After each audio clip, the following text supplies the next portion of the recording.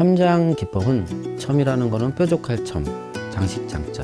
시각적으로 느끼는 것처럼 도자기 표면에 뾰족하게 돌기를 만들어내는 장식 기법이라고 보시면 될 것 같습니다. 흙물의 퇴적 현상을 이용해서 이제 장식을 하게 되는데요. 분청사기의 귀할 기법을 무한 반복을 통한 장식 기법이라고 보시면 됩니다.